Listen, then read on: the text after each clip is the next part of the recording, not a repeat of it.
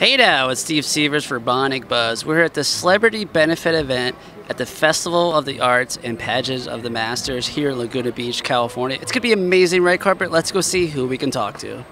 So I assume art's very important to you. You're here supporting us. Do you collect art yourself?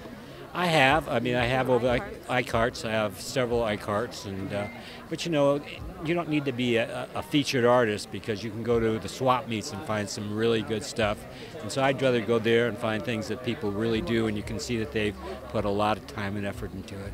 Thanks for watching, everyone. If you want more great content like this, please help us out by hitting that subscribe button and follow us on social media at Bionic Buzz. Thank you very much.